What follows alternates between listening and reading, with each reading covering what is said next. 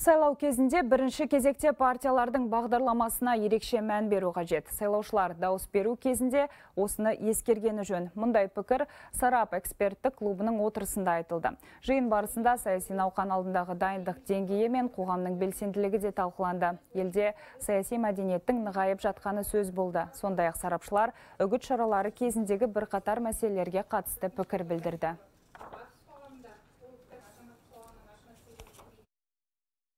Партиялар мен жеке кандидаттар негізінен акцентті әлеуметтік платформалардағы жұмысқа салып отырған байқалады бірақ та өңірлік деңгейде бұл мына есіктен есікке деген акциялар бар ғой.